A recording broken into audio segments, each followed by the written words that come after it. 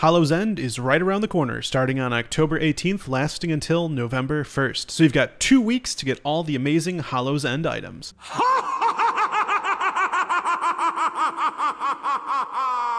To get started, you can pick up the quest, the Headless Horseman, from either the Masked Orphan Matron in Razor Hill if you're Horde, or the Costumed Orphan Matron in Goldshire if you are Alliance. Similar to the Brewfest boss summon, you can only summon the Headless Horseman once a day. You'll get five attempts each day, assuming each group member has their quest available. Once you arrive at the Scarlet Monastery graveyard, you can now summon the Headless Horseman. The Headless Horseman has three phases. Phase 1 is a tank and spank, and upon reaching 1% health, his head flies off, and you need to DPS it down to 65% health fast in order to enter Phase 2. If you don't do it fast enough, you'll have to do Phase 1 again. Phase 2 is like Phase 1, but now he has Conflagrate. It does five ticks of 10% of the life of the target in damage to a random target and everyone close to the target, so spread during this phase. Once again, when he's down to 1%, his head will fly off, and you'll need to get it down to 30% to enter Phase 3. Now, in Phase 3, he gains another ability to summon four Gordian minions. These don't do a lot of damage, so if you have big DPS, you can ignore them and just burn him down. But if you take too long, he'll summon another set of four, and you could get squashed. Once he reaches 1%, his head flies off again. Kill it and pray that your loot drops. This end have I reached before. What new adventure lies in store? The Headless Horseman drops these items the Horseman's Helm is a nice plate helm with a nice 30 second cooldown emote. It's kind of fun. There's also three epic rings, which are powerful for casters, healers, and range slash melee DPS. And my favorite pet in the game, the Sinister Squashling, also drops. And the Hallowed Helm and the incredibly rare Horseman's Reins also drop. This mount is a regular and epic and ground mount. It's everything. It's everything you've ever wanted.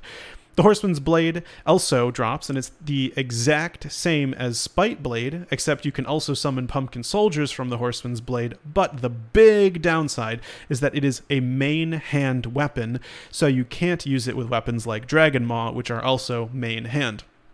There are also consumable and seasonal items that disappear at the end of Hallow's End that drop off the Headless Horseman, like the Magic Brooms and the Weighted Jack O' Lantern. These are the drop chances of everything he can drop.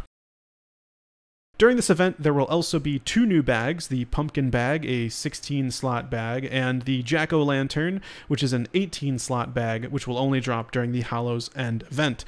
The Jack O' Lantern is an 18 slot bag, which drops from all mobs level 60 plus, and it has a pretty low drop rate, and the Pumpkin Bag drops off all mobs level 50 plus.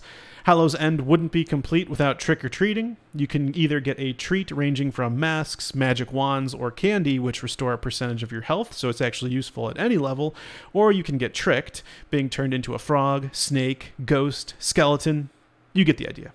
You can also grab handfuls of candy from candy buckets you find everywhere, or do one of the many seasonal quests, such as Hallow's End Treats for Jesper or Spoops, depending on your faction. To do this quest, you'll need to gather treats by doing different emotes at four major cities chicken clucking for a mint, dancing for marzipan, flexing for a nougat, and incoming gumdrop. There's also quests for putting out fires, placing eggs in brew, cleaning up stink bombs, or crashing the Wickerman Festival. The rewards for each of these quests are Hallow's End pumpkin treats. These treats are actually kind of nifty, transforming you into a skeleton that can breathe underwater, a pirate that can swim 50% faster, a ghost that has levitate, slow fall, and water walking, or even a, another one that makes you larger and oranger, which gives you a 5% chance on getting hit to cause Hallow's End Fright, which slows attacks by 25% and reduces movement speed by 30% to the attacker. Very nice. Now, the last big part of Hallow's End is the Wickerman Ceremony, going on outside of the Undercity. Horde players can go there and loot a Wickerman Ember after 8 p.m. server time, which grants Invocation of the Wickerman, which increases health and mana regeneration by 25% and stamina by 25%. Pretty awesome buff.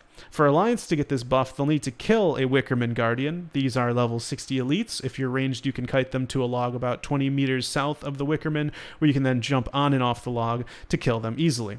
And that is the story of Hallow's End.